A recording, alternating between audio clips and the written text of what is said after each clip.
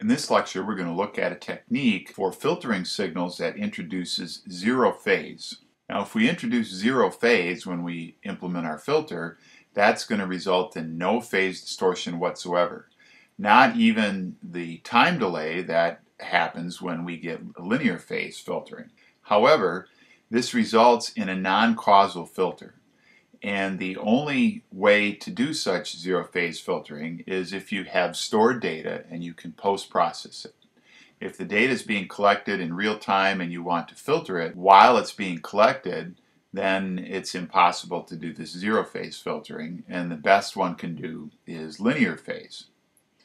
Now one thing that happens when you implement a non-causal filter is that any transients in the signal get blurred both forwards and backwards in time.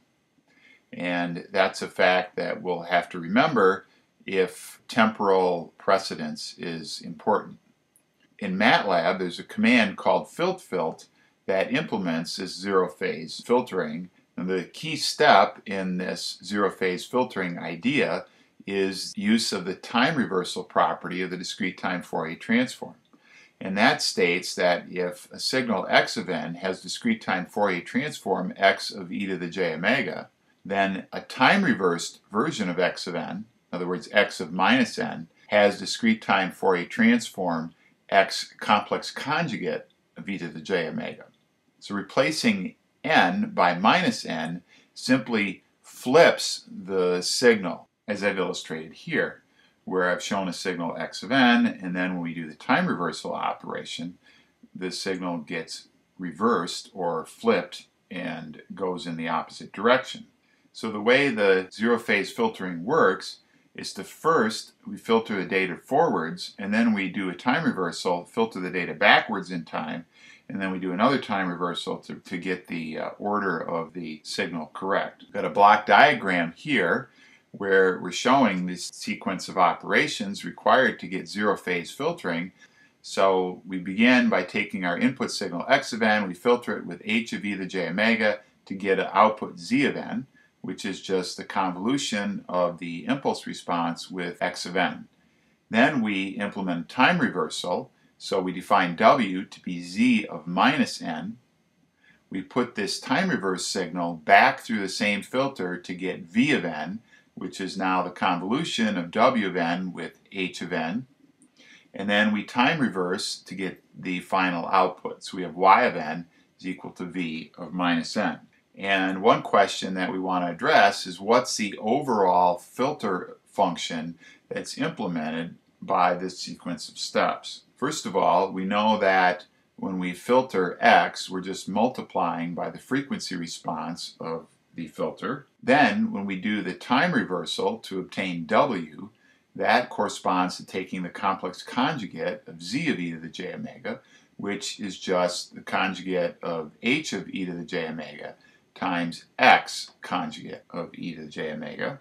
Next, when we filter w, we multiply by h of e to the j omega to get the magnitude of h of e to the j omega squared times x complex conjugate of e to the j omega.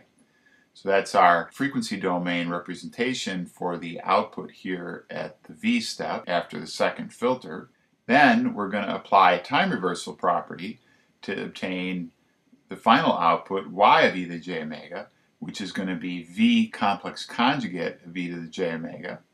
And replacing v with what we had in the previous step, we see that we end up with the magnitude of h of e to the j omega squared times x of e to the j omega. And this, this results because the magnitude of h of e to the j omega squared is real. So the conjugate does nothing to that. And of course, if it's real and positive, then that implies it's going to give us zero phase. So our effective frequency response is just the magnitude of h of e to the j omega squared, and that function has zero phase. So this procedure, because of the two time reversal steps, you can see that it requires the entire data sequence to be available before beginning. One can't do this on the fly as you're collecting data. So that's one of the key issues with using this approach. It's nice to have zero phase, but it does require the entire input data sequence be available or be stored. Secondly, something to keep in mind is that if you have specific filtering constraints, that is, specifications on your filter response, then you need to translate those from the overall filter to the actual filter that you're going to be implementing. Remember that the overall filtering characteristics is the magnitude squared of the frequency response of the filter that you implement in those two steps of the process.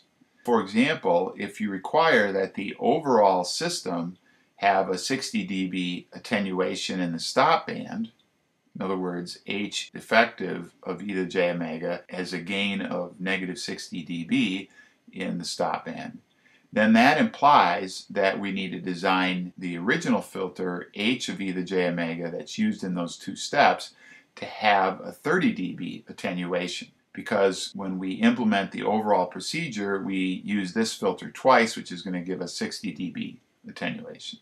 And the same sort of thing applies to critical frequencies in the passband or passband distortion. If you require that your overall filter only have 1 dB of ripple in the passband, then you're going to have to design your filter that you implement in this process as having one half dB of attenuation because the overall effective filter function is going to have twice the ripple expressed in dB of the original filter. And then finally, this procedure, of course, loses the idea of causality, which is okay, although you should be aware of it in cases where it might matter. So for example, if there's some transient effect that starts at time n naught, we can think of a causal response to such a transient would not be possible to begin until after n naught.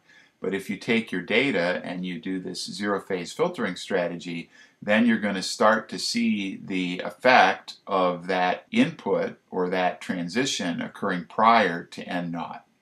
And just need to be aware of that if it's a case where temporal precedence and order is particularly important. So zero phase filtering is a useful approach for avoiding phase distortion in cases where we have all the data available and are implementing a filter as a post-processing step.